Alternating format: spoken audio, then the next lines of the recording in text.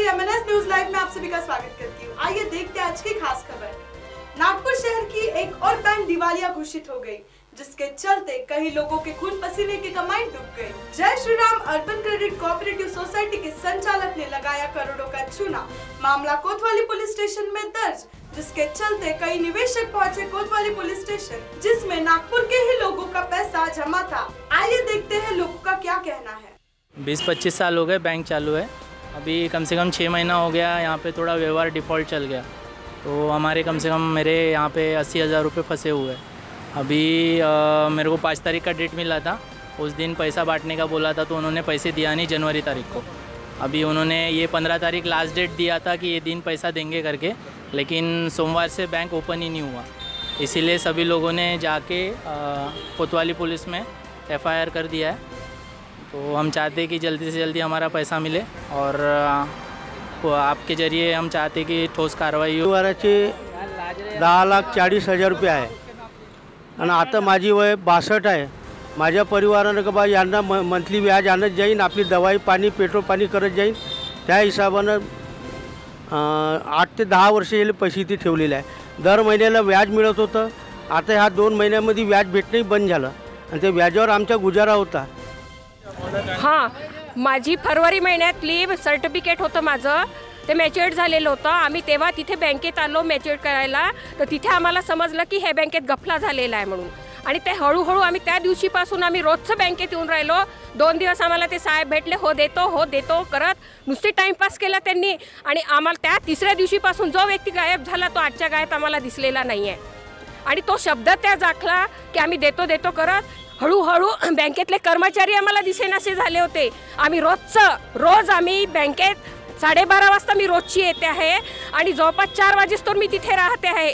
पण आम्हाला काही थांगपत्ता लागू देत नाही आहे आजपर्यंत आज माझे चार सर्टिफिकेट हे झालेले आहे पण त्यातलं एक सुद्धा सर्टिफिकेटची अमाऊंट मला मिळालेली नाही आहे माझी जवळपास साडेतीन ते पावणे चार लाखपर्यंत येतो. हाँ मैं भैयालाल ताराचंदी गौर हूँ. मैं 16 साल से जय श्री राम सोसाइटी में डेली कलेक्शन करता रहा और रोज़ वसूली करके रोज़ ला के जमा करता था और विड्रॉल भी मिलते थे।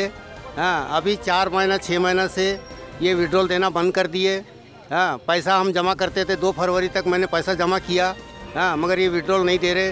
हाँ मेरा संतावन लाख रुपया है। हाँ सब खातेदारों का, कलमना मार्केट, इतवारी, ये चारों तरफ़ का पैसा पब्लिक का पैसा है। हाँ और ये विड्रॉल नहीं दे रहे। लापता है। मेहरकुरे, खेमचंद मेहरकुरे। हम्म। ये संस्था से पंद्रह साल से जुड़ा हूँ। इन्होंने पहले चक्रधर सोसाइटी सक्काधर पुलिस से मैनेजर के रूप में थे। उस टाइम भी उन्होंने बहुत करोड़ों का लफड़ा किया था, पैसे भर दिए थे उन्होंने। बाद में सोसाइटी स्थापन की थोड़ा थोड़ा ऐसा संपादन करके एजेंट जुड़े। एजेंट जुड़ने के बाद में थोड़ा थोड़ा जैसा भी दोस्तों के माध्यम से पैसा जमा किया थोड़ा थोड़ा विड्रॉल देते रहे। अभी से कम से कम पूरा तैयालीस से चालीस, चवालीस करोड़ का लफड़ा ये सोसाइटी में खड़ा है अभी। किसी के तीन करोड़, किसी के अस्सी लाख, किसी के बीस लाख, किसी यानी पच्चीस हज़ार से लेके एक करोड़ तक के जनता का पैसा इस सोसाइटी में फंसा हुआ है। सर, मैं जय श्री राम और सोसाइटी में एजेंट का काम करता हूँ। वहाँ मेरे कस्टमरों के मिला के बीस लाख रुपए जमा है वहाँ पे। और मेरे खुद के उन्हें पाँच लाख रुपए है। मेरा खुद ऑपरेशन हुआ है और मेरे खुद के पैसे मेरे को नहीं मिल रहे हैं वहाँ पे। तीन महीने से मैं घूम रहा हूँ, उनके चक्कर मार रहा हूँ। अभी मेरा एक महीने पहले ही ऑपरेशन हुआ है, पर मेरे पैसे मेरे को नहीं मिले वहाँ से। मैं उनके घर जा जा के परेशान हो गया हूँ। मेरे को उन्होंने चेक भी दिए थे वो चेक भी बाउंस हुआ है उनका अ, मेरा नाम आनंद नागोशे है। मैं पचहत्तर साल का उम्र का हूँ। यहाँ बैंक के अंदर में मेरे 12 लाख नज़दीक पास कम ज़्यादा करके अ, पैसा जमा है एफडी के अंदर में। जिसका मेरे को महीने का छः हज़ार कुछ तो ब्याज मिलता है। फिक्स में कुछ है कुछ ऐसे है। लेकिन मेरे को दो महीने से फिक्स महीने का भी ब्याज नहीं मिल रहा है। और इसी के ऊपर मेरा उधर निर्वाह है। आज मैं परेशान हूँ। और अभी यहाँ गरीब वो लोगों का पैसा है। लोग इतनी मेहनत से खून पसीना करके यहाँ पे पैसे जमा करते हैं और अपनी मेहनत की कमाई बैंक में जमा करते हैं। क्या ये सही काम है क्या? आज वो किस किस तरह से वो सीनियर सिटीजन लोग यहाँ पे आ रहे हैं? किन्हीं के पैर में लगा हुआ है? कोई सीनियर सिटीजन है? ऐसा इतना पैसा उनने जमा किया है लोगों का और बैंक से लेके चले गए। आपको सिक्योरिटी बताना तो चाहिए कि लोगों का पैसा देना चाहिए इन लोगों ने। ऐसा काम नहीं करना चाहिए। आपका कितना है? हमारा भी खुद आप इस बैंक में कितने सालों से हैं? अठारह साल हो गए लगभग अठारह सालों से हैं। कितने लोगों का पैसा आपके बैंक में जमा था? करीब बहुत जनों का है। दीडशे एजंट आप उसमें बैंक में पगार पर थे कि कैसे मानधन पर थे? पगार पे थे। अच्छा बैंक का जो ऑनर है उसका क्या नाम है? खेमचंद मेहरपुरे खेमचंद मेहरपुरे मेहरपुरे अच्छा अभी बैंक की जो परिस्थिति थी वो आपको तो पता होगी ना पहले से ही? नहीं हमको पता थी मगर हम साहब को बोल रहे थे कि हमारे यहाँ पैसे नहीं है तो आप उसमें पैसे का पैसों का अरेंजमेंट कर रहा हो पैसे का अरेंजमेंट कर रहा और ऐसे जाते थे और वो आते ही नहीं थे। लगभग उन्होंने कितना पैसा उस बैंक में से निकाला हुआ है?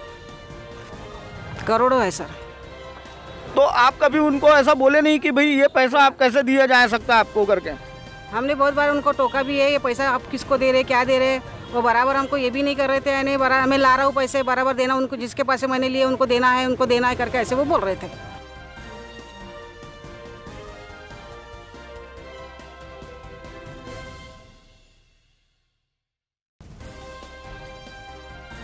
तो न्यूज़ लाइव की खबर देखने के लिए M Hindi app play store से आज डाउनलोड करें और हमारे चैनल को सब्सक्राइब करें। तब तक के लिए धन्यवाद।